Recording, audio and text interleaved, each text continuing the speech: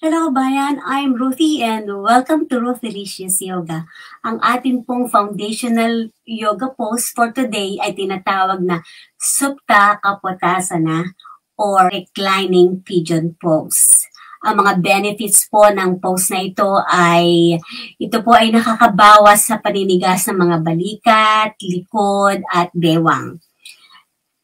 At ito po ay na, uh, kadalasan ng mga issue ng mga tao sa araw-araw, hindi lang mga matatanda, kundi kahit yung mga middle age, lalo na yung nagtatrabaho. Kung yung trabaho po ay nakaupo maghapon sa silya in front of your, uh, sa office, yung mga laging nakatayo maghapon o lakad ng lakad maghapon o nagbubuhat. Ito po ay isa sa mga magandang post na gamitin at ito ang benepisyo nito ay naiibsan ang, ang, ang paninigas ng balikat, likod at bewang.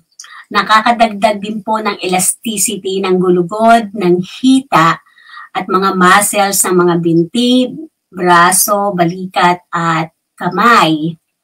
At pinalalakas po nito ang mga muscles at joints, yung mga bukong-bukong ba yung joints, ng mga binti at nagbibigay ng magandang pagbanat sa mga parte ng binti o pag-stress ng ating binti. Okay? So, yun po. So, gawin na po natin. So, mag-umpisa po tayo sa nakahiga. So, higa po tayo sa mat o kung saan man kayo nakapwesto.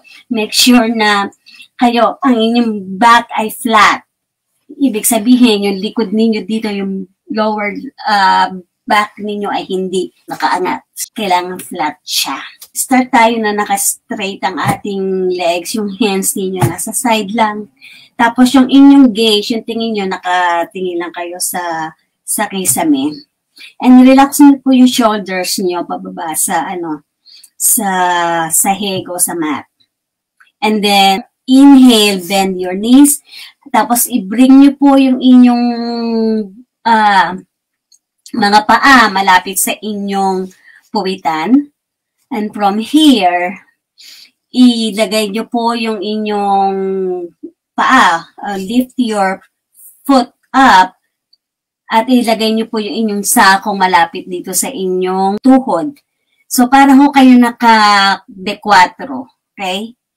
Figure 4 ang tawag natin. Ngayon, ito po, para sa mga beginners, pwede na po ito na naka-4 kayo. Ang stretch na mararamdaman nyo dito with your right hand, kung right right leg nyo ang nakabend, i-push nyo po slightly, gently lang, yung inyong tuhod away from you. So, makakaramdam na kayo. So, pinupush ko lang po away from me So makakaramdam na po ako ng stretch sa aking bewang, sa aking hita. And breathe lang po. So inhale, breathe in, and breathe out. So ito po ay stretch na, mararamdaman nyo na ito. Ngayon kung gusto nyo ang deeper stretch at kakayanin ng iyong katawan, ng inyong mga binti na hindi kayo magkakaroon ng pain, pero may stretch, okay? Ah, uh, tinatawag ito na thread the needle. Yung kamay ninyo, ilagay nyo sa ilalim ng inyong left knee. So, sa ng inyong hita. And lift your left foot up. So, ganyan po. Stretch na po, nararamdaman ko na stretch. Pero kung mas gusto pa po ninyo na mas lalong malalim na stretch, bring your left knee uh, towards your chest or pull your knee in towards your chest. So ito po, feel na feel ko na hindi lamang sa hips ko kundi sa aking glutes at saka sa aking hamstring. So, pag nakaganito po, make sure lang po ang inyong paa, foot ay flex. And just breathe in and out through your nostrils. Pwede nyo i-close ang inyong mata or kung gusto nyo ay take five deep breaths here hanggang maramdaman ninyo na nalulusen up yung tightness sa inyong uh, lower limbs. Alright, and one more deep breath. Inhale. Exhale and bring your left foot down and release. So, bringing your right foot back to the mat. So, i-try po natin tong kabila para makita nyo sa side na to. So, from here, bring your left foot over your right knee. So, yung left ankle nyo naka-cross at naandito sa inyong right knee. Kung at kayo beginner o meron kayong issue sa tightness, so maaring magumpisa kayo na with your left hand, push your left knee away from you.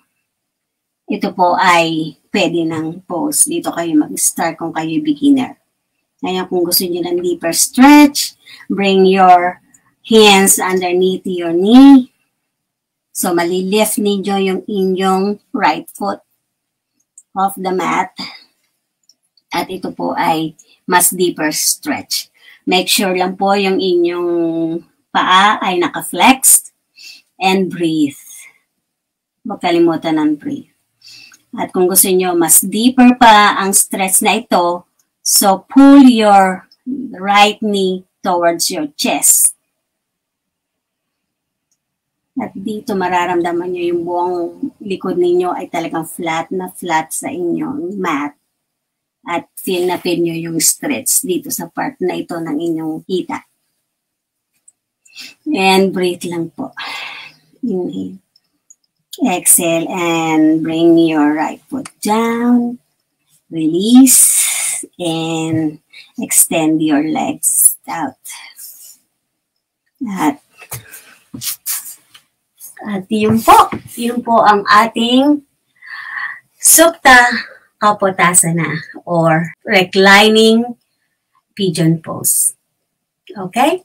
I hope uh, mayroon na naman kayo natutunang bagong way o bagong pose na magagamit ninyo para masolusyonan ninyo ang mga pananakit ng inyong mga parte ng katawan at mabilis na remedyo para sa mga issues natin sa katawan.